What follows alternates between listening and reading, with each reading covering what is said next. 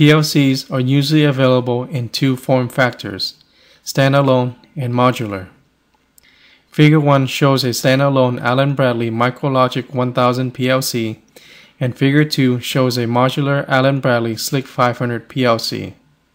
Standalone PLCs are physically small, cheap, have limited programming capability, and do not have I.O. expansion capability. Therefore, standalone PLCs are suitable for small projects. The power supply, communication port, processor, input, and output channels of standalone PLCs are compactly encased in an enclosure. An example of a standalone PLC is the Allen Bradley 1761 L16BWA MicroLogix 1000 PLC. This PLC consists of a switching power supply, processor, communication port, and I.O. channels encased in a gray plastic enclosure. Let's take a closer look at this PLC. These are the input channel terminals, and these are the output channels terminals. This is the communication port where the programming cable is plugged into. The programming cables allows engineers to upload, download, and troubleshoot PLC programs.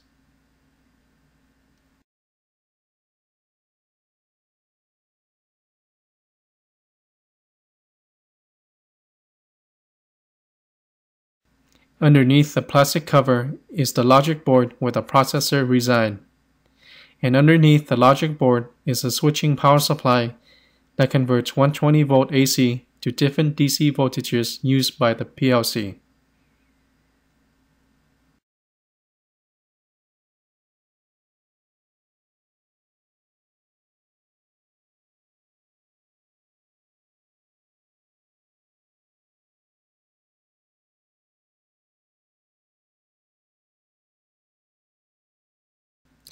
The PLC can be mounted by using the mounting feet or by using the DIN mount.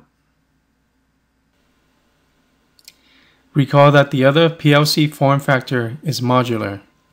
Modular PLC systems are usually more powerful and have more capabilities than standalone PLCs.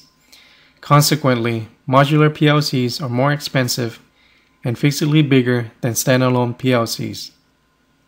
Modular PLC system usually consists of a chassis, power supply module, processor module, and I.O. modules. The function of the chassis is to hold and connect the modules together.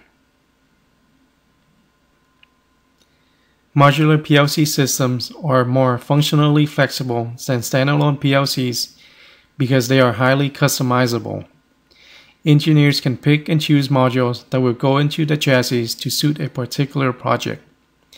For example, if a project requires a high number of output channels, then the engineers can install five output modules into the chassis.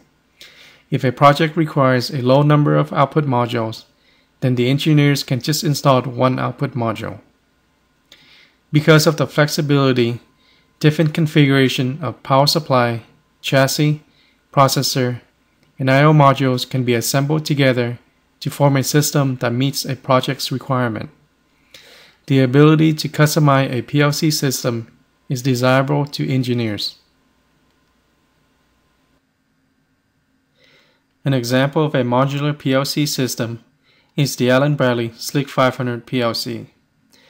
The PLC system shown on the screen consists of a 7-slot chassis, a power supply module, a processor module, and other various modules. The modules can be removed from the chassis simply by sliding them out of the chassis slot.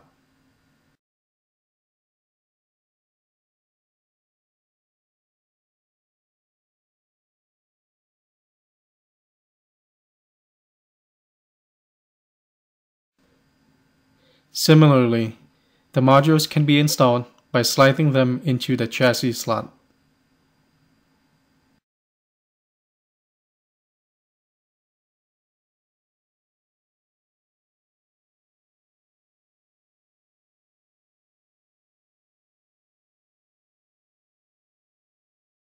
The PLC system can be mounted by using the chassis mounting feet. Modular PLC systems are suitable for large, complex control application due to their versatility and relatively more powerful computational capability than standalone PLCs. As a result, modular PLC systems typically have a bigger footprint than standalone PLCs and also cost a lot more. Modular PLC system can cost upward of $20,000, whereas standalone PLCs only cost around $1,000. The Allen-Bradley ControlLogix is an example of a modular PLC system that can cost over $20,000 to build. Figure 5 shows the Allen-Bradley ControlLogix PLC system.